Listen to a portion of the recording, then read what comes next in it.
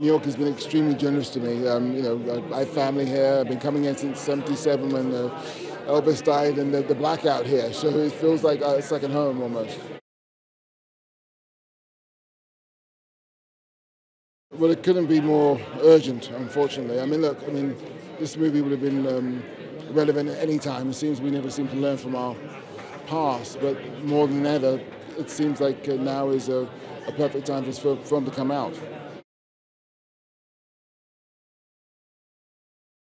It's not about familiarity, it's about human beings in, in, in, a war zone. So I think, you know, people who care about people who are in danger, um, you know, it's, it's, it's a relevant film for anyone. It doesn't have, it's not about being familiar with a particular period in time.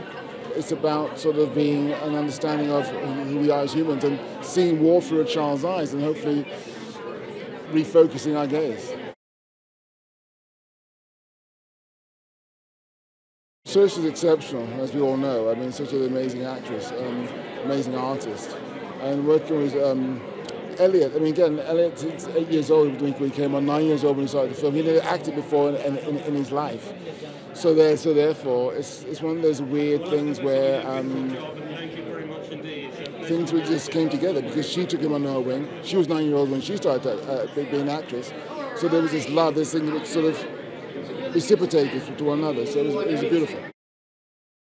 I actually first spoke with Steve about it quite a few years ago uh, before he shot the film, and he had told me early on about how he wanted there to be a lot of original songs as well as authentic researched pieces in the movie.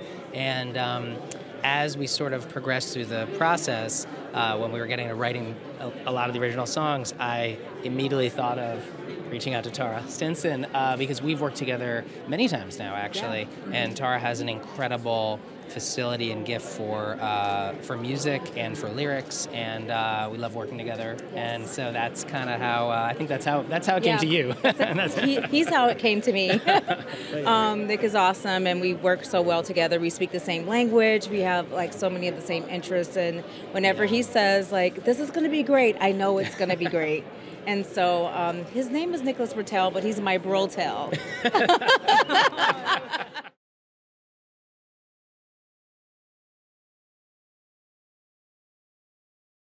I know that Winter Coat was like very sentimental to, Steve, and being like when his um, uh, he had a family member and he wrapped himself in a coat for that memory, and so that kind of I think was our, our, our starting um, our, our goal post, you know, to make sure to evoke those emotions. And um, and then of course like the the time period, and Nick was like very he's a, uh, a very specific with me, like and and so you can't miss. It's like these are the these are the, the goals that we're making, and then you just go after it, and for for it to just be emotional and and also a song that could be um, performed and like from that time. Yes. It was like, wouldn't you say? It's just like yeah, yeah. I mean, I think there's there's a feeling through the whole movie that these songs, you know, what's the role of songs in human life, and especially I think in a challenging time like the Blitz. One of the things that Steve was always talking about was, you know, music serves these very important roles of like it sort of helps us persevere through tragedy, uh, but it's also a bomb for the heart and soul. And so I think there was an element of that idea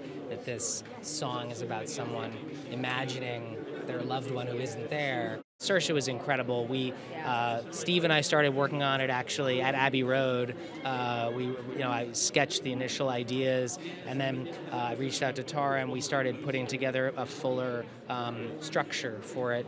And then when we presented it to Saoirse, you know, um, she almost immediately responded to it, and I think that was really uh, heartening because you know you never it's, since it's a new song and you know no one ever sung it before. You know you're asking yourself, you know, does the song work? does it feel good for her? And she was so fantastic to collaborate with. I think there was this whole process where uh, she took to the song very quickly, and then her voice is so beautiful. To be connected with uh, Steve and Nick is just like how what a what a dream and, you know and that's the biggest takeaway that I had for myself is that Nick is a continuing bucket list that I've always want to check and to, and Steve is is one is my first you know uh, time working with him so it was just that and um, that for me personally. We worked a lot at Abbey Road, which is always a dream to be there. That studio is so incredible. Um, but it was very much like the process of being in the room and figuring these things out. Um, and then in those similar studio spaces, watching it actually come alive. So both the, the writing and then actually the performance and recording and feeling it uh, come alive was something that, you know, I think that's what we're all, as artists, I think that's what we're all, yeah. you know, aiming for is those kinds of experiences where you create things and then you see them, you know, yeah. you, they sort of. The paper uh, to the yeah. camera is like a, it's just yes. a dream. Yeah. yeah.